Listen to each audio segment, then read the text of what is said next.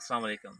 ਮੈਂ ਹਾਂ ਗੁਲਾਮ ਮੁਰਤਜ਼ਾ ਤੁਸੀਂ ਦੇਖ ਰਹੇ ਹਾਂ YouTube ਚੈਨਲ ਡੇਲੀ ਪੰਜਾਬ ਅੱਜ ਆਪਾਂ ਗੱਲ ਕਰਾਂਗੇ ਫਰੂਟ ਫਲਾਈ ਤੇ, ਜਿਹੜੀ ਫਲ ਦੀ ਮੱਖੀ ਆ। ਇਹ ਫਰੂਟ ਔਰ ਸਬਜ਼ੀਆਂ ਤੇ ਬਹੁਤ ਜ਼ਿਆਦਾ ਨੁਕਸਾਨ ਕਰਦੀ ਆ ਤੇ ਇਹ ਪਾਕਿਸਤਾਨ 'ਚ ਬਹੁਤ ਹੀ ਵੱਡਾ ਮਸਲਾ ਹੈਗਾ।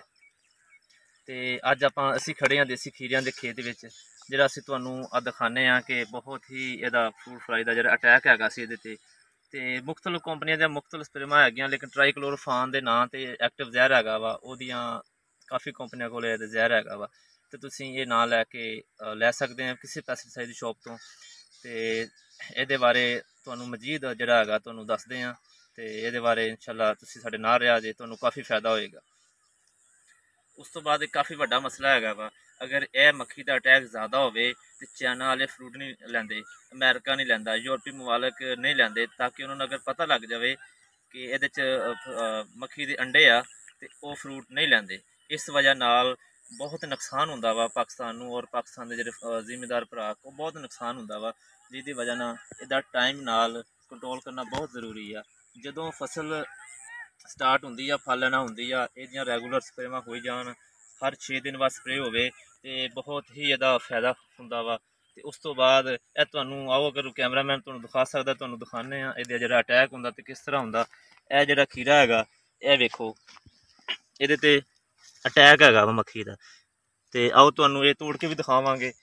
ਤੇ ਤਾਂ ਕਿ ਤੁਹਾਨੂੰ ਜਿਹੜਾ ਹੈਗਾ, ਇਹਦਾ ਆਪਣਾ ਪਤਾ ਲੱਗੇ ਕਿ ਕਿਸ ਤਰ੍ਹਾਂ ਹੁੰਦਾ। ਮਜ਼ਾਹਰ ਮਹਿਸੂਸ ਨਹੀਂ ਹੁੰਦਾ, ਐਡਾ ਮਸਲਾ। ਲੇਕਿਨ ਅਗਰ ਇਹਨੂੰ ਤੋੜੀਏ ਤੇ ਤੋੜਨ ਤੋਂ ਬਾਅਦ ਵਿੱਚ ਇਹਦੇ ਕੀੜੇ ਹੁੰਦੇ ਨੇ ਸੁੰਡੀਆਂ ਪੈਦਾ ਹੋ ਜਾਂਦੀਆਂ ਨੇ। ਇਹ ਦੇਖੋ। ਇਹ ਕਾਫੀ ਮਸਲਾ ਵਾ। ਇਹ ਖੁਦ ਨੁਕਸਾਨ ਨਹੀਂ ਇੰਨਾ ਕਰਦੀ ਲੇਕਿਨ ਇਹਨੇ ਆਪਣਾ ਫਲ ਦੇ ਉੱਪਰ ਆਪਣਾ ਜਿਹੜਾ ਹੈਗਾ ਡੰਗ ਮਾਰਨਾ ਹੁੰਦਾ ਵਾ ਜਿਸ ਵਜ੍ਹਾ ਨਾਲ ਅੰਦਰ ਸੁੰਡੀਆਂ ਪੈਦਾ ਹੋ ਜਾਂਦੀਆਂ ਵਾ। ਆਪਣੇ ਇਹਦੇ ਅੰਡੇ ਵਿੱਚ ਹੋ ਜਾਂਦੇ ਨੇ ਤਾਂ ਕਿ ਇਹ ਬਹੁਤ ਉਸ ਤੋਂ ਬਾਅਦ ਬਹੁਤ ਨੁਕਸਾਨ ਕਰਦੀ ਹੈ। ਇਹਦਾ ਹੋਰ ਹੱਲ ਵੀ ਹੈ।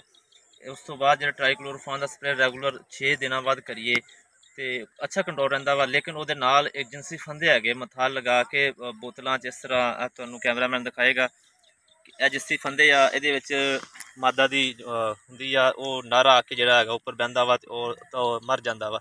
ਕਾਫੀ ਕੰਟਰੋਲ ਰਹਿੰਦਾ, ਲੋਕ ਬਾਗਾਂ 'ਚ ਵੀ ਇਹ ਲਗਾਉਂਦੇ ਨੇ ਤੇ ਔਰ ਸਬਜ਼ੀਆਂ ਤੇ ਲਗਾਉਣਾ ਚਾਹੀਦਾ। ਬਹੁਤ ਜਿਹੜਾ ਹੈਗਾ ਦਾ ਅੱਛਾ ਫਾਇਦਾ ਹੁੰਦਾ ਵਾ, ਮੱਖੀਆਂ ਕਾਫੀ ਹੱਦ ਤੱਕ ਕੰਟਰੋਲ ਹੋ ਜਾਂਦੀਆਂ ਇਹਦੇ ਨਾਲ।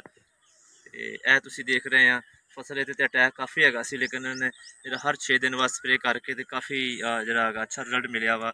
ਇਹ ਸਪਰੇਵਾਂ ਤੁਹਾਨੂੰ ਟ੍ਰਾਈਕਲੋਰੋਫਾਨ ਦੇ ਨਾਂ ਤੋਂ ਅੱਛੀਆਂ ਕੰਪਨੀਆਂ ਦੀਆਂ ਮਿਲ ਸਕਦੀਆਂ ਵਾ ਮਿਲ ਜਾਂਦੀਆਂ ਔਰ ਤੁਹਾਨੂੰ ਜਿਹੜਾ ਹੈਗਾ ਕਰਨੀਆਂ ਚਾਹੀਦੀਆਂ ਵਾ, ਅਗਰ ਤੁਸੀਂ ਅਸੀਂ ਪ੍ਰੋਡਕਸ਼ਨ ਲੈਣੀ ਆ ਤੇ ਔਰ ਫਰੂਟ ਫਲਾਈ ਦਾ ਅਟੈਕ ਤੋਂ ਬਚਣਾ, ਇਹਦਾ ਹੋਰ ਹੱਲ ਹੈਗਾ ਵਾ।